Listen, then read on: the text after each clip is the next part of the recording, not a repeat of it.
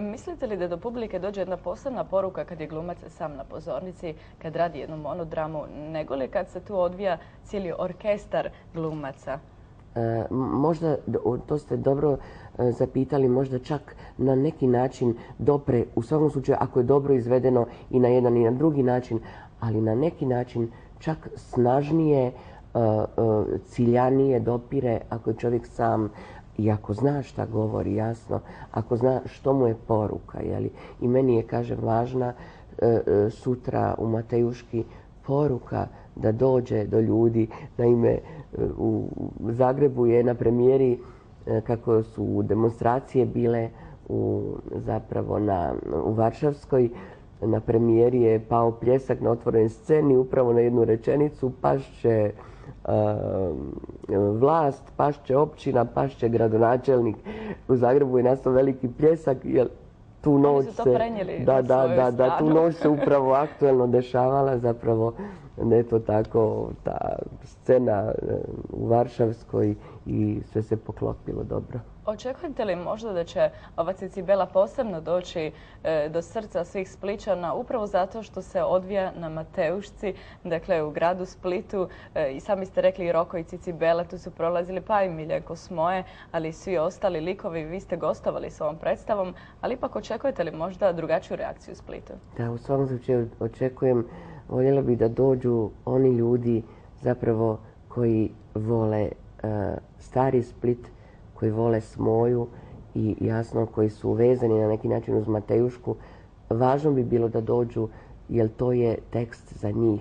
Taj tekst govori o Splitu, a osim toga, kao što Šegvić kaže, tamo postoji zapravo jedna ploča na kojoj piše Dujka, Cicela i Roko jeli, i da nije ljubavi ne bi svita bilo.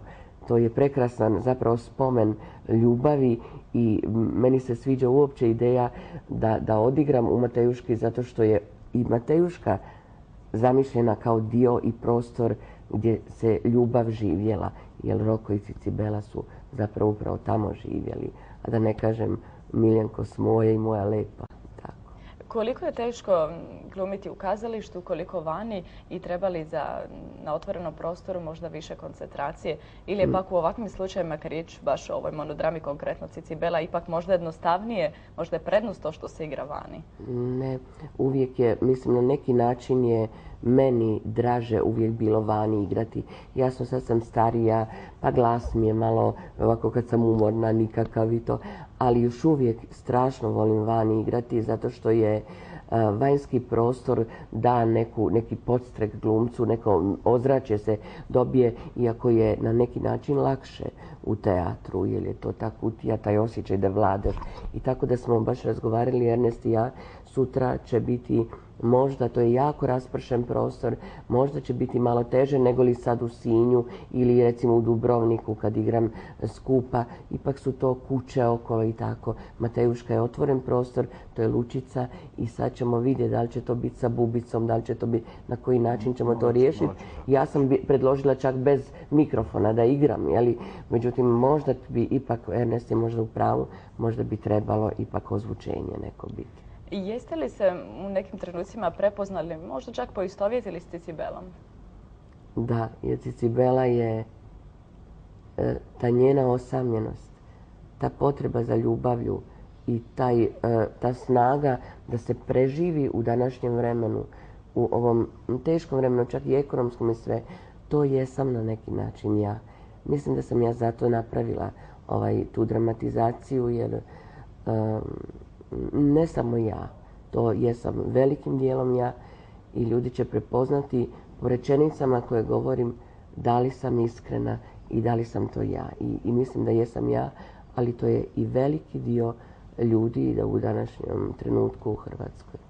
Koliko uopće ima improvizacije, vjerojatno će naše gledatelje zanimati, to ih uvijek zanima kako glumci mogu toliku količina, količinu teksta zapamtiti i bez problema izvoditi bezbroj puta i čak i nekoliko predstava zna biti u kratko vrijeme. Da, e, recimo, teže mi je kad igram na Dubrovačkom, teže mi je zato što mi je to strani govor.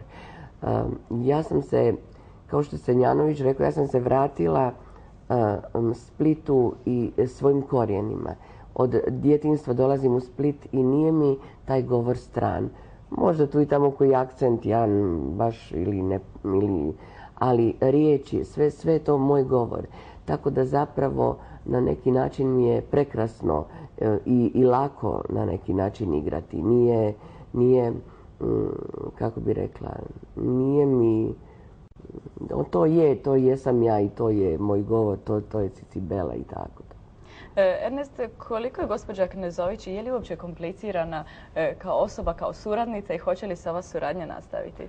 Pa čujte, ja ne znam da li će nastaviti, to ovisi i o njoj, ali što se mene tiče da pače. E, međutim, što se tiče toga da li je ona teška kao suradnica, ja ću vam kazati da ona meni nijednom trenutku nije rekla to nije dobro.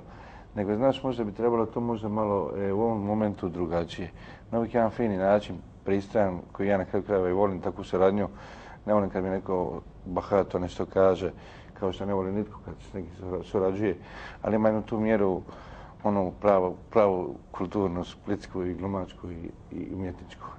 Što vam je draže, kad netko točno zna ono što želi ili kad ne zna što želi? E, naravno da mi je teško kada netko ne zna što želi. Možda a pogotovo, a pogotovo kad se onda ne slaže ni sama. Razumite, a, ima, a toga ima vrlo često u umjetnosti. Kada čovjek ne zna stvari što bi želio, ti mu nešto prezentiraš i onda on kaže, on zna da to ne bi želio, a ne bi zna reći šta bi želio. Onda je to veliki problem. Ako gospođa Vlasa je baš obrnuta situacija, ona je točno želila, znala što želi, ali ja sam nekako slučajno se dogodilo, valjda pogodio, pogodio od prilike. Da, da Mom, pogodio što, što bi trebalo. I onda tu su bile neke eventualno male sitne izmjene. Divno, divno. Tako da ja kažem, ta glazba vidite ćete osjetiti, nje nema previše, ali prava mjera i prava mjera e, onoga što je, što mora biti i Mediteran, što mora biti Sicibela, što mora biti uvod u predstavu i sjajan završetak predstave. Tako da je, ta glazba je veliki igrač u predstavi. E, gospođo Knezdović, evo ovom prilikom možete naravno spomenuti vaše suradnike koji su radili na ovoj monodrami i njih je još Niste samo vas dvoje. Da, ne, zapravo suradnika nema na monodrami, kako bi rekla, previše, tako da je... Ali evo možemo spomenuti, dakle, recezente, ipak e, možda koordinatore predstave. Da, mislim, e, pomogli su mi i Čičo Senjanović i pomogli su mi Goran Pelajić, pomogli su mi napisati predgovore, e, ovaj, zapravo su mi na neki način ohrabrili su me da, da napravim predstavu jasno plakat i tako, tu su mi pomogli moj Josip Kovačević, pomogli su mi zapravo i grad Sinj i grad Zagreb, evo i grad Split sada u vezi Matejuške, mislim, neki moji prijatelji i tako, tako da je zapravo nema ovih stručnih suradnika puno. Naj, tu smo Ernest i ja i to je dovoljno. Jasno, Miljenko svoje. I gospođa Adela se angažirala. Aj, da, sigurno da, kako ne gospođa Adela. Hoću reći, e, e, najvažnije, ovo, ovo, ovaj dvojac je najvažniji i trojac, ja sam sa Miljenko, ja sam rekla te ti lepo, ja ne znam, ne znam hoće li da li bi se Miljenko s tim složio? Ona kaže, gleda on tebe i smješka se i zadovoljan je i tako. Hoće li gospođa Smoj doći na monodramu? Rekla je da hoće, sad ćemo vidjeti, da. Biće zanimljivo čuti njene reakcije. E, hoće li Spličani nakon ove premijere, splitske premijere, imati priliku možda još koji put vidjeti i čuti ovu e, monodramu? To ne znam, za Splita, evo baš jučer sam u e, Sinju razgovarala, bilo je krasno u Alkarskim dvorima, bilo je puno ljudi, a onda smo čak u jednom momentu razgovarali, možda čak jer kako se monodrama događa na Badnjak, jeli? oni su rekli možda čak na jesen ili pred Božić, možda da ponovimo u Sinju, pa možda se desi i Split ponovo. E, pozivamo naravno sve Spličane da se pridruže sutra u 21 sata na Splitsku Matejušku. Ulaz je slobodan, što znači dođite u što većem broju. Biće zanimljivo vidjeti ovaj prekrasan spoj prošlosti i sadašnjosti i gospođu e, Vlastu Knezović. Vidjet ćemo naravno i kako sve zajedno izgleda ta monodrama. E, Spličari su pravi kritičari i oni će to najvjernije znati prikazati i pogledati i naravno poslije iskritizirati. Želim vam naravno dobre vremenske uvjete. znamo koliko je to bitno i za vas, ali i za glazbu, da. ne bude ni vjetra, ni kiša i nadamo se povoljnim vremenskim prilikama. Hvala vam najljepše. Hvala. Hvala i vama, štovani gledatelji. Stigli smo do kraja još jednog izdanja emisije Jutarnja Čakula. Pozivam vas naravno da u statku dana ostanete uz program televizije Jadran. Srčan pozdrav!